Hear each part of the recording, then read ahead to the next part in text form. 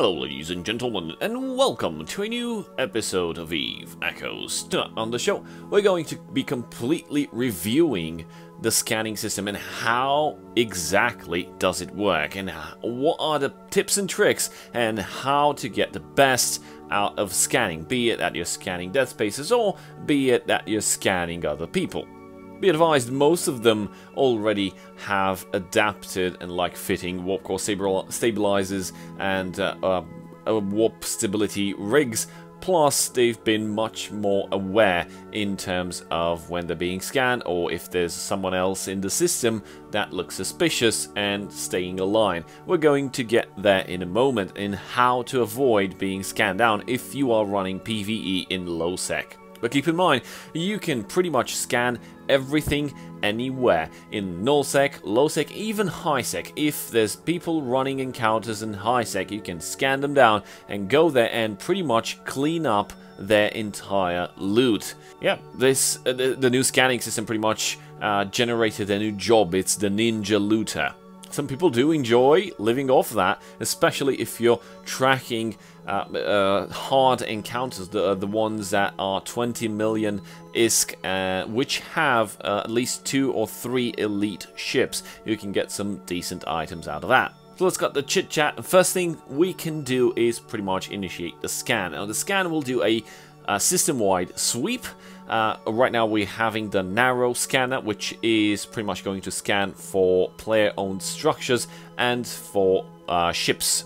We can launch that. If you have a covert ops uh, ship, you can pretty much scan and then cloak immediately, so we will not be detected, and you can still run the analysis um, while being cloaked. Now, we have that one signal was identified, however, if that uh, notification does go away, uh, uh, I'm sure plenty of you have no idea where to go and to get back on the scan that was already completed. So you don't have to scan again to get that notification. You just need to go to the map and then you need to click on your system and you need to enter the solar system view. There we have it. So, pretty much in the exploration chart, you'll see the uh, dead spaces and the stuff and the belts and the Nihilus space that you can find with the wide area scanner. With the narrow scanner, you will pretty much uh, go into the combat section. Uh, it's funny, lack of corresponding scanning modules, we do have them. Unfortunately, we're cloaked, so it does not know how to interpret uh, the cloaking ability. And uh, if we do try to give it uh, this command of scanning uh, from the main interface, it will say the interference from the cloaking device is preventing you from scanning. However, if you go inside the scanning uh, itself, um, inside the solar system view, it does not know what to do. This is a bug. I reported it already. I hope it will be fixed soon. So let's switch over to the combat tab and then we have we have an unknown signature. Now, one of the important things that you want to keep in mind is when you're scanning for stuff, some things you may not want to scan all the way. Why? Because if you have poor skills, when you scan stuff down, uh, the victims, or the, the targets that you're trying to scan, will most likely get a warning that they have been scanned. Um, skills pretty much give you a bonus in avoiding that. So me, for example, uh, with skills 5-4, uh, which I had on the first day, while I was scanning battle cruisers, they were given a warning because I had shitty skills. Of course, I'm running a ship with no bonuses and with no rigs on scanning bonuses. So I'm pretty much just basing it off, off my skills. Now with 554, because this is my current skill levels in basic, advanced and expert in scanning, I can scan down battle cruisers and I think even cruisers and I will not issue them a warning. I will do issue a warning for uh, um, destroyers and for frigates. So if I'm going to scan down, because I have no idea what I'm scanning, so if uh, the 100% shows me that it's a frigate, most likely it got a warning and it's pretty much aware, or at least if it's not AFK, but pretty much it got a warning uh, that it was scanned, the area was revealed by other players, uh, which means they can pretty much align, warp out, and do whatever they, they want to do. But battle cruisers uh, and hi, and I think cruisers as well don't get a warning with a ship with no scanning bonuses and with no ship uh, with no rigs bonuses uh, just by the skills themselves 554 that's a good number and this is pretty much what you want to get if you want to scan people down efficiently. Efficiency in scanning people down does not consist in getting the um, wavelengths and you know narrowing down and getting to 100% it's actually not issuing them with the warning so they stay in place while you get there and nuke them. So I was talking about the thing that you don't need to scan people down completely. And let's see why. If there's people inside uh, encounter beacons doing encounters or story missions, they will be in some random part of space. And the beacon itself is going to show up somewhere that is not overlapping any planet or any stargate or any um, uh, anomaly or belt which is pretty much the things that you can already warp to uh, from your overview. So right here I have the beacon, you can see it's blinking. I selected it and it's blinking and there's some stuff overlapping. Here. Let's see what it is. So we've got some some stations and we've got a planet and we've got a gate and we have the signature itself. Now this particular player or ship that I'm scanning is most likely going to be somewhere around these structures because it is overlapping, it's not in some random part of space.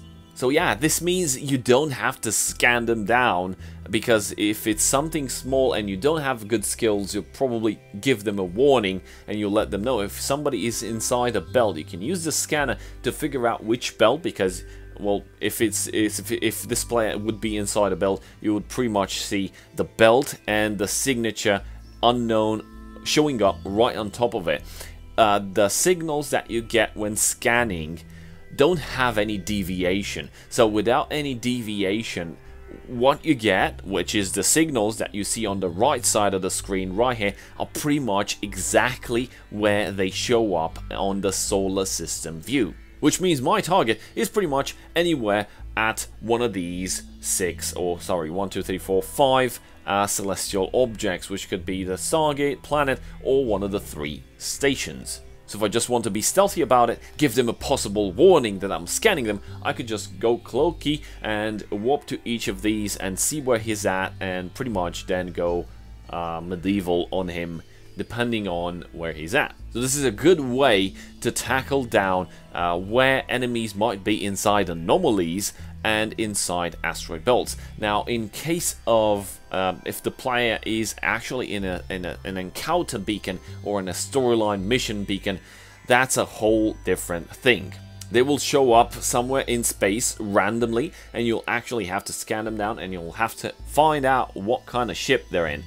So let's try to scan for the sake of argument and show you guys what exactly is it implied when you're trying to scan the unknown signature. So we have analyze signal sources. You click on this and pretty much this interface of excluding the noise signals. Now it says exclude two noise signals, but you can it can be one just one noise signal or up to maximum of two. It cannot be more than two noise signals. If you if you've uh, excluded two noise signals and you haven't reached 100% narrowing down and uh, the interface stating that the uh, the analysis is complete, then it means you've picked the incorrect noises to exclude and you've pretty much fucked up your uh, scanning so you need to exclude them, uh, sorry, add them back again because excluding something that is not part of the noise will actually create more noise and will complicate the wavelength, which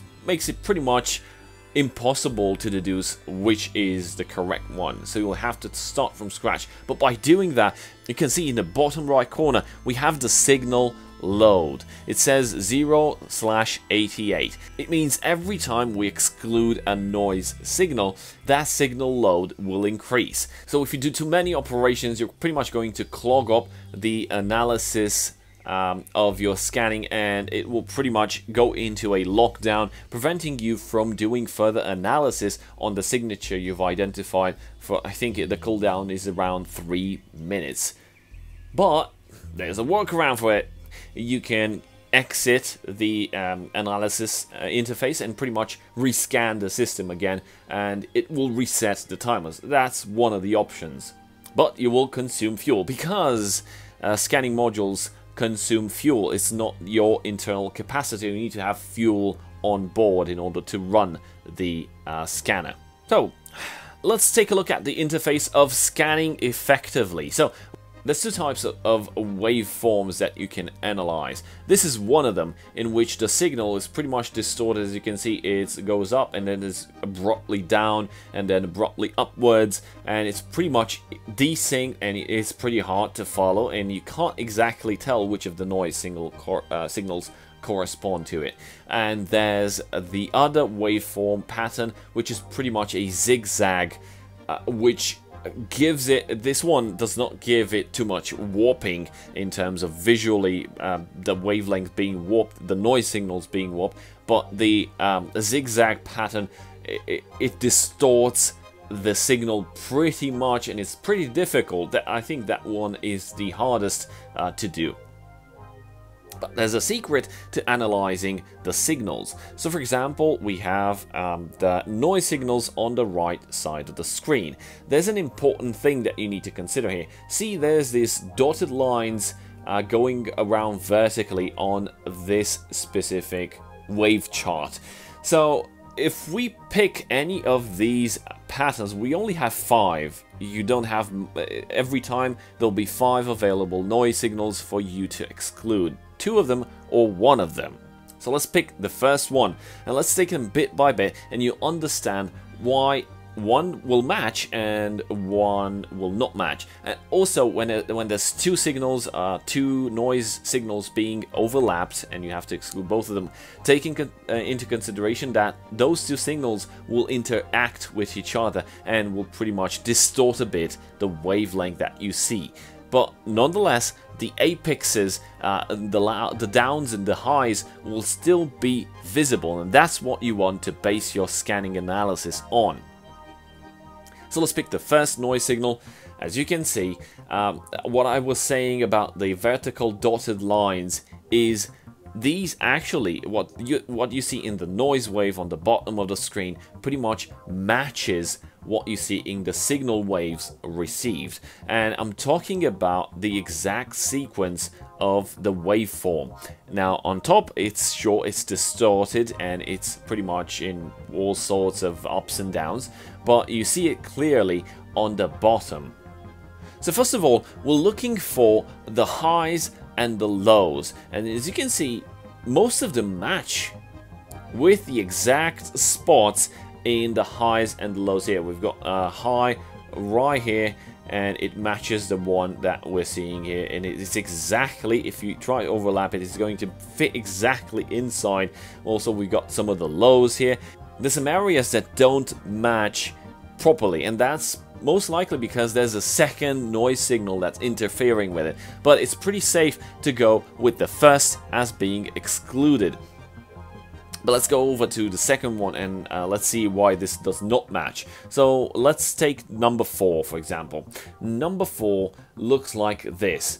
If we take a look at the highs and the lows on the top side of the analysis, uh, compare it to the noise wave that we're trying to exclude here, you see that this waveform does not match in any way, not even on the highs, not even on the lows, not even on the frequency of how these ups and downs occur. So this is definitely not one of the ones that I'm trying to exclude. So let's exclude it and we'll reach another pattern. Pretty much the, um, the, the received waveform will be excluded and we get this new pattern which is the leftover pattern that we haven't excluded yet. And this one is pretty much obvious which one is it. It's this one. I know I'm talking out of experience, but you can take them one by one, and as you can see, this one does not match because look at this side eh, here, what eh, it's a mountain, it has some left and right. This one has just ups and downs, ups and downs. This one is definitely not it because the ups and downs definitely don't match. Um, this one definitely does not match any way possible.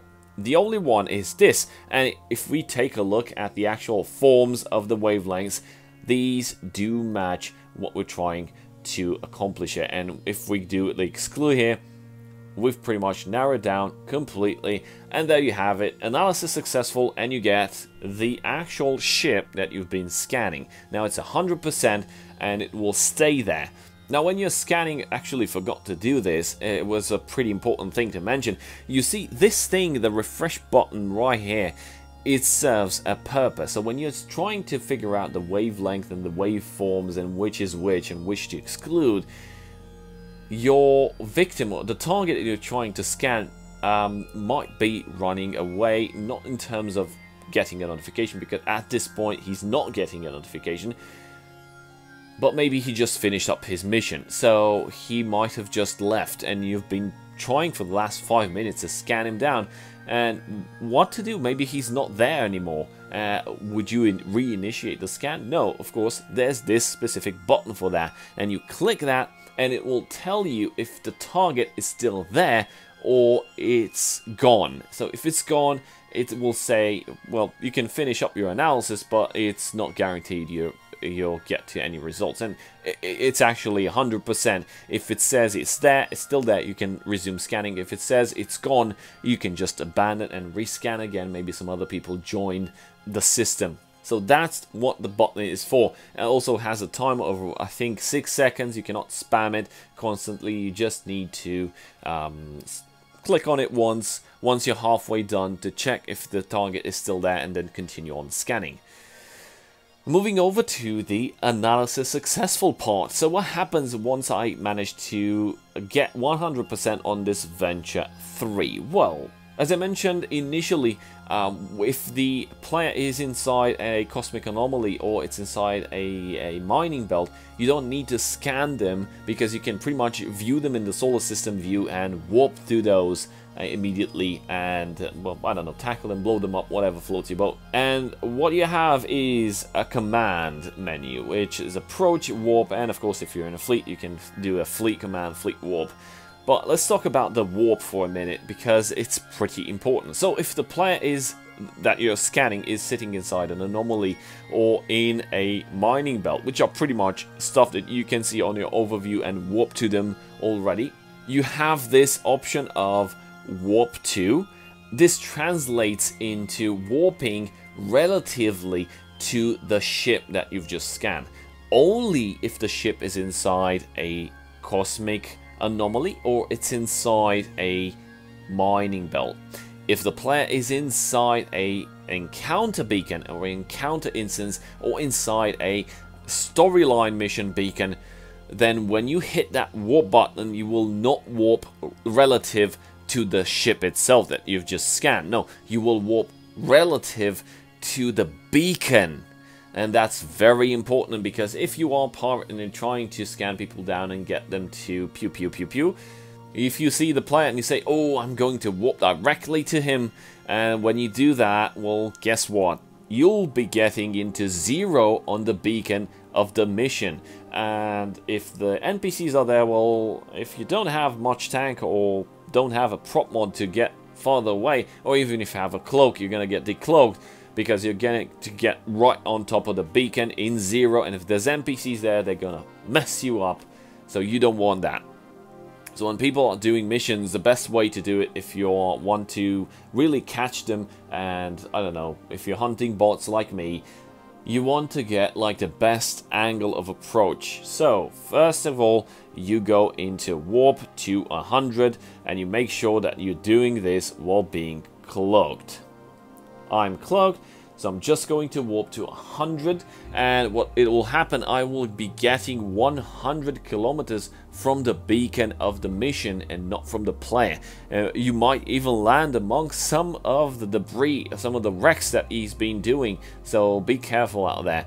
But once you get 100 kilometers of the beacon, right now I've landed 100 kilometers from the player itself because this player is not inside a storyline mission or inside an encounter beacon. So once you get into the site itself, you have to analyze which is the best warp in position because every time you warp to, to his ship, you're actually warping to the beacon. So 100 kilometers from his ship will be 100 kilometers from the beacon actually.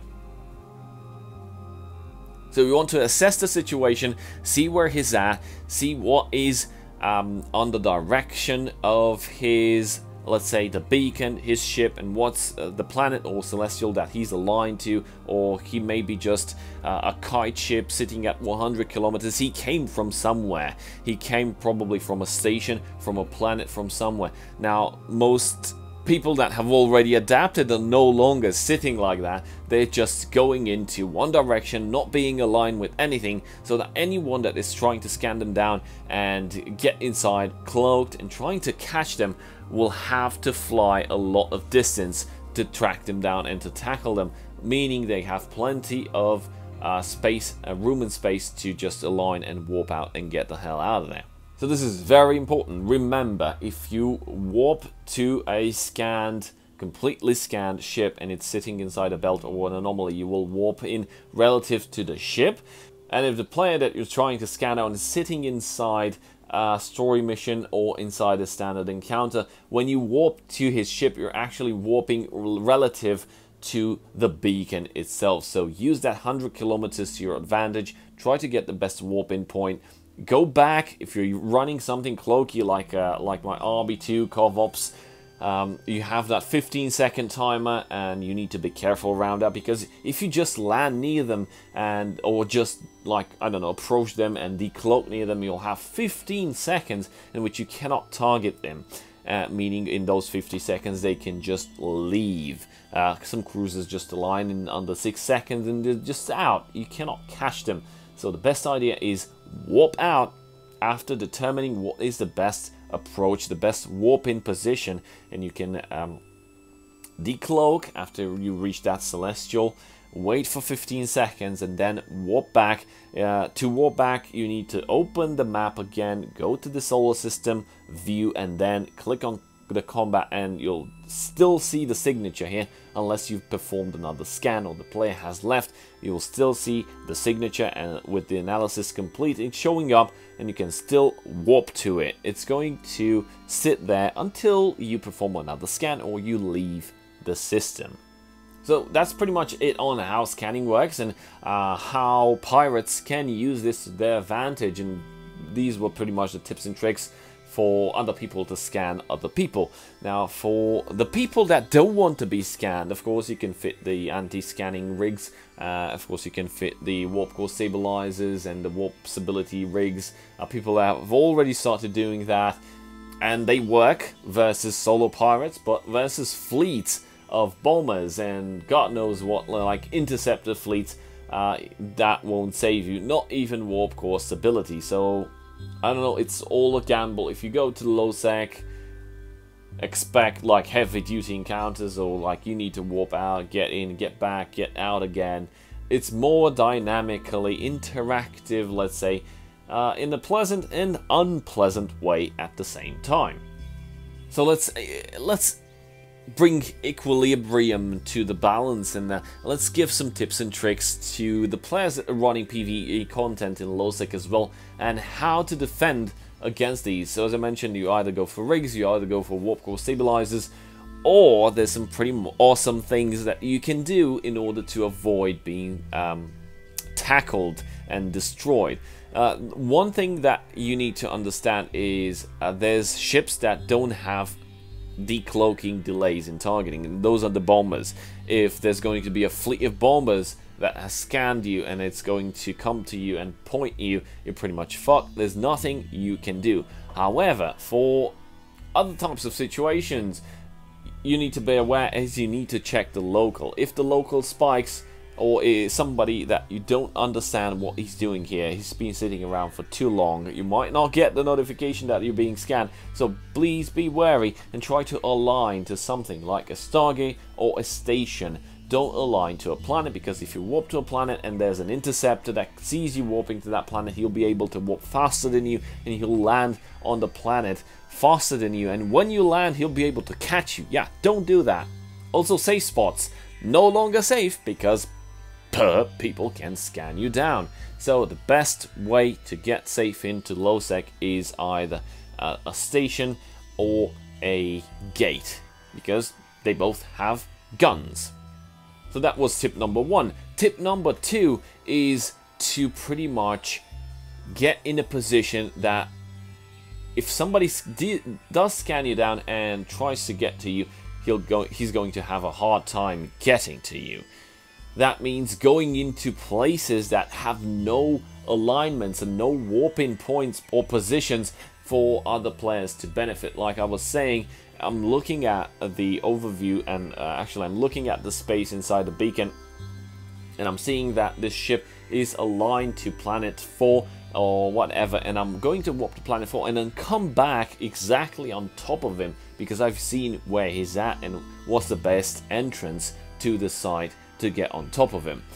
So if you want to be on top of the other people that's tr that trying to scan you and tackle you, go into sections of the beacon that don't have an easy access point. Uh, there's no planet in between, there's no Stargate, there's no whatever else, no anomaly, no nothing. But yeah, there's areas that you can do that and I encourage you all to do that to stay safe. I've had some tremendous experiences in these past days. I've had kill mails switching hands so fast in 5 minutes that I don't even understand what happened. I was tackling a prophecy, I was trying to get on top of a prophecy, that was probably a bot account and was running a storyline encounter. And while I was trying to get a, a decent um, landing on him a tornado scanned him down and came and started shooting him. And uh, then I, I, I thought to myself maybe this tornado is much more juicy target because bots usually don't have too many storylines and faction and dead space modules. So I went for the tornado and basically the tornado destroyed the prophecy and I, I, I, was able to tackle the tornado and because he was artillery fit with strike cannons he had no chance of landing one single blow on me. Was able to just orbit him and apply full damage. But guess what happened? I started receiving notifications that a lot of players, other players, have scanned this area that I've been trying to get the tornado to die. So in less than 30 seconds, a fleet of interceptors came inside the beacon and I was just taking taking the the tornado into hold but the interceptor one of them was burning for my ship and it was pretty much I need to get out of there and I went the hell out of there it turns out tornado did die to the interceptor fleet but then something more interesting happened it was a Cynabal and a, an Ashimmu that scanned us before the interceptor fleet came and when the interceptors finished off the tornado and were, were looting around and doing whatever the Cynabal and the Ashimmu landed inside the site and pretty much wiped the interceptor fleet. It's insane. Uh, the LowSec just got its mojo back and it's all awesome and you can do all sorts of stuff. Of course, uh, a lot of people will complain you're no longer able to run big reward uh, encounters with, um, let's say, risk-free. And I, I think that's good because just getting a tremendous amount of risk from uh, low-sec encounters which pretty much gave us like 4 million, 5 million, and 20 million ones. This is well, this was all just a cash infusion inside the game, and up until now, every player had been running storyline. That's why the uh, prices for storyline items is so down the drain and it's poop, and also why there's a lot of risk in game because of uh, all the players running a lot of PVE content risk free, especially in Isaac and LowSec. But this changed with the introduction of the exploration system, and we'll have to see how the market stabilizes and uh, everything goes. But it's a long way and it's uh, it's a journey. But I'm going to be observing and uh, I'm going to have much more fun with the scanning every day, every single time that I get my hands on some free time. I'm just going to go in there scanning and see what kills I can get. Yar, pirate life for me.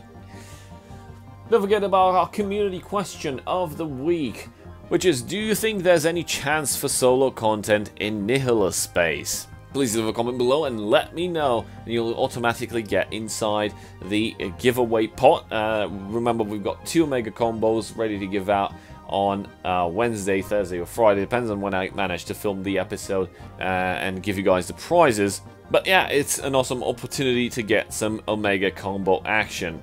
You just need to answer the bloody question.